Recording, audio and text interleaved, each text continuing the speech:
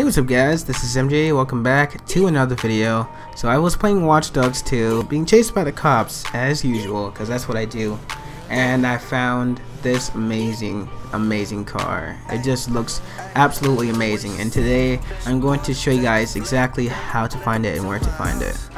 So what you want to do, you want to go on the map and go to this location right here. Right here. It's close to the bridge it's in the top left hand corner of the map. So get there. Once you are at this location you are going to come down this little path and then you're gonna see the car right beside this blue tent. And yeah there you go. There you have the car now.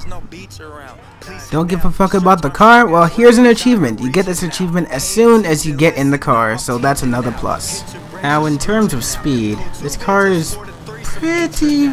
Eh, it's not. It's not that fast. It's not insanely fast compared to like other games, obviously. But then again, none of the cars in Watch Dogs 2 are really that fast. But it's still pretty good. I like it. Also, this car drifts really, really nice. Well, I don't drift really, really nice.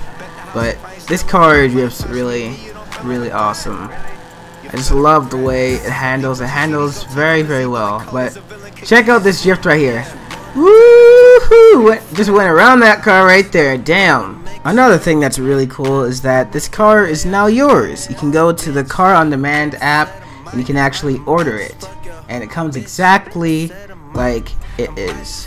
One thing that's kind of disappointing about this car is that you cannot put your custom paint job on this car, but it doesn't it doesn't really matter too much.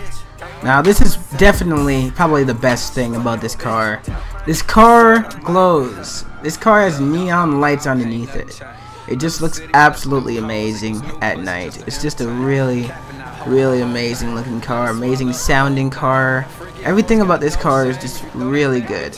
It may not be the fastest car in the game, but it's still a really, really amazing car and I would highly recommend it. So anyway, hopefully you guys enjoyed this video.